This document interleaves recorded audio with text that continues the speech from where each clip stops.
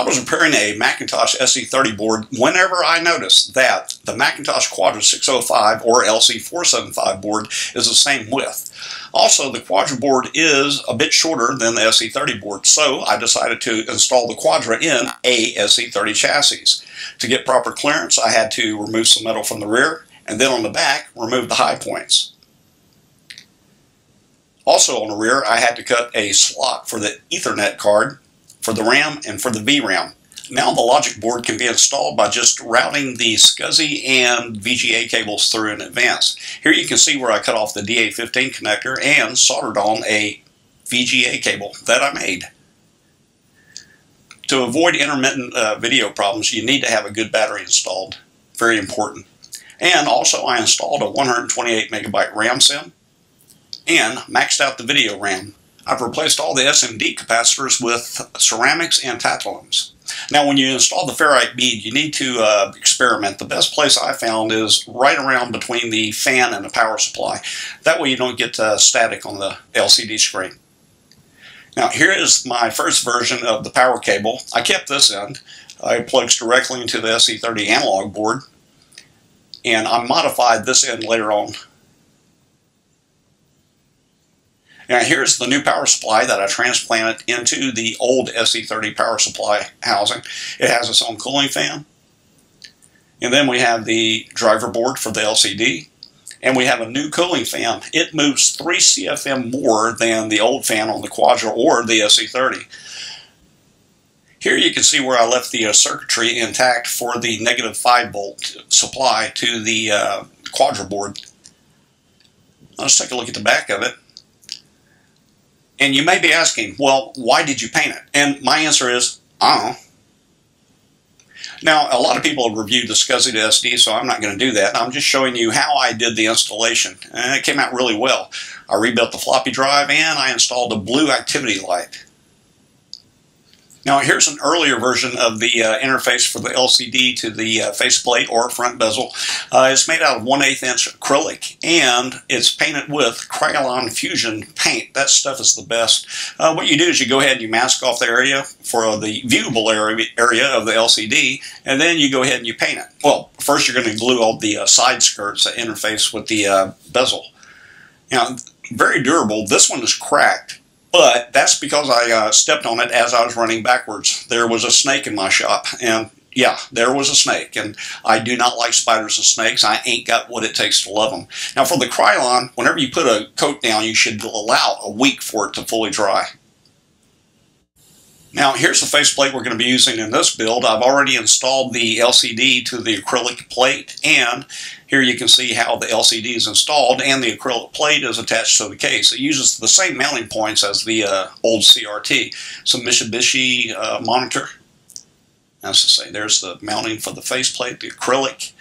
All right, let's get it together. Here you can see the modification I made to the uh, power connector. So you slide the board in and you plug it into the power cable once it's inserted forward. Now I route the power cable down through a slot that is right here next to the floppy drive. That eliminated running the power cable over the top of the board and across over to the uh, analog board. For the floppy cable, I took it and I routed it through the PDS slot. And you have access forward and it's pretty easy to get on and off, and here is the modified power cable. Okay, this is it. I've finally installed everything into the chassis. Now, I've tested everything together separately before. This is the first time I've started the machine, uh, well, with everything installed. Okay, new cooling fan, and floppy drive and SCSI to SD, LCD, brand new power supply. Yeah, all right. Not bad, not bad. Let's go ahead and do it. Houston, we have a go. Plug the cable in. Let's turn her around.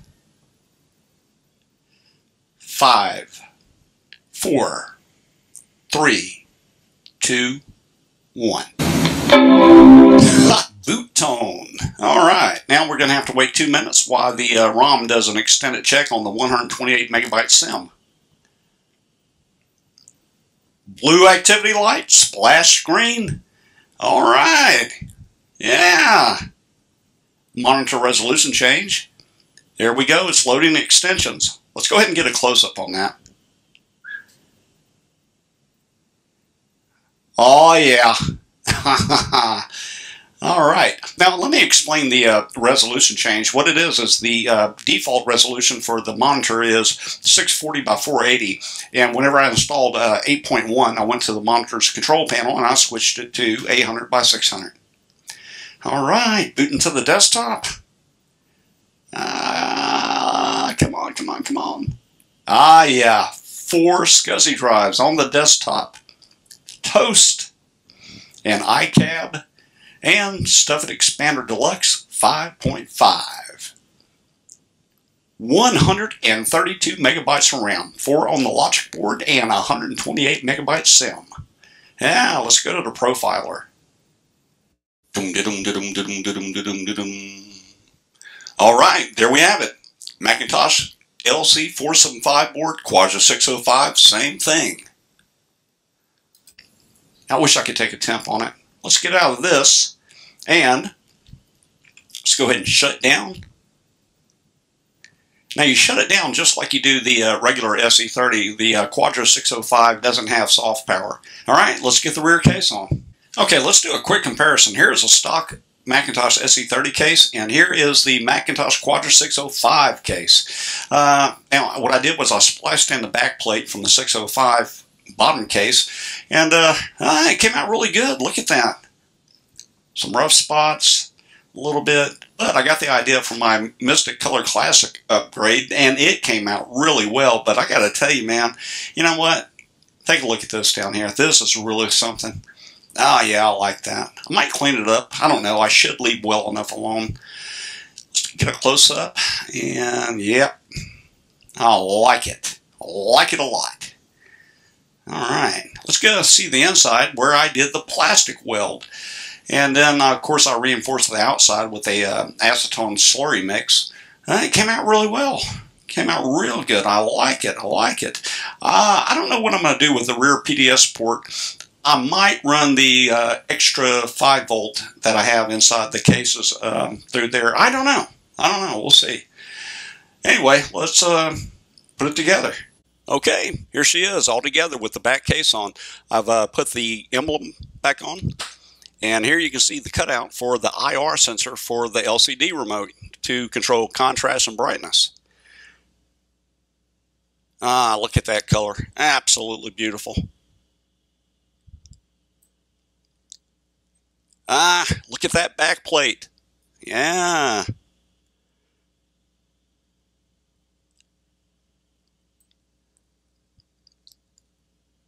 Side shot. Now, whenever I turned on the uh, LCD, uh, acrylic is a nightmare for static electricity, so it uh, attracted dust to the uh, housing on the inside. Uh, I'm not going to tear it apart to remove the specks because you can't really see them when it's on the desktop at all.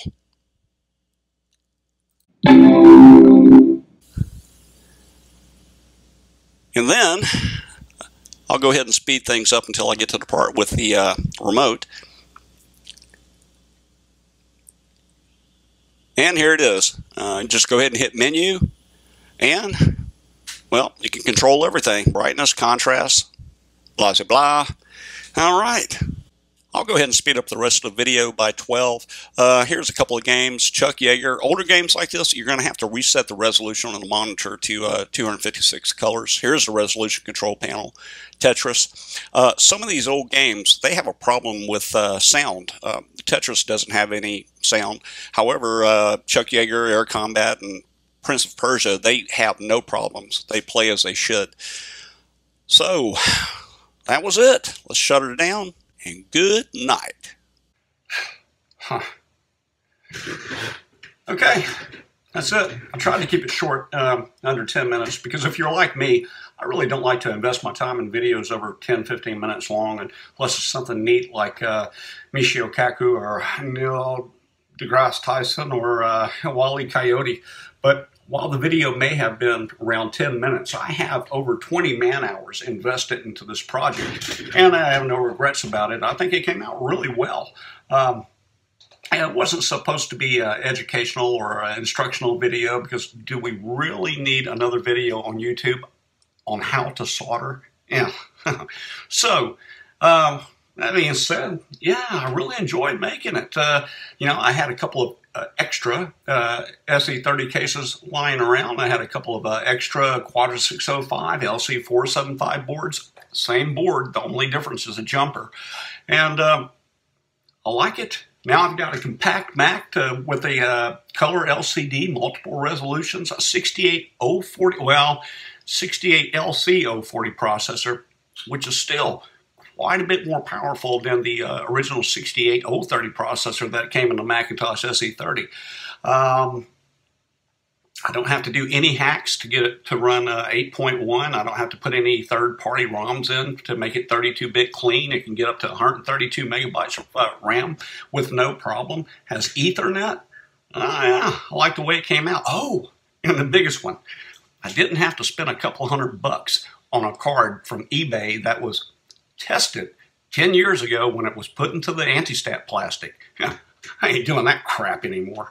So, uh, yeah, yeah, I really like the way it came out. Uh, you know, if um, you're a kid and you decide to do something like this, please make sure you adhere to strenuous uh, safety precautions whenever you're doing it. There are things in here that can kill you. I consider a kid to be anyone between, uh, I don't know, a toddler up to what I've seen in the last couple years, 30 years of age. So please be careful and make sure you know what you're doing. Learn how to properly discharge, discharge a CRT. Um, if you're an adult and you don't follow proper uh, safety or disassembly procedures, well, all I can say is in the great scheme of things, um, you probably weren't meant to be around that much longer, and you should feel blessed that you have survived this long in life. Well, I reckon that's it. That's all I have to say. And um, I'm Billy. I'm glad you tuned in. Please be kind in the comments. This is my first video. And one more thing. Um, you know, it's a scientific fact. Kids love to fish. Uh, so do yourself a favor. Make a kid's day and take them fishing. I'm Billy. Uh, hope you've enjoyed the video. And uh, will see you later.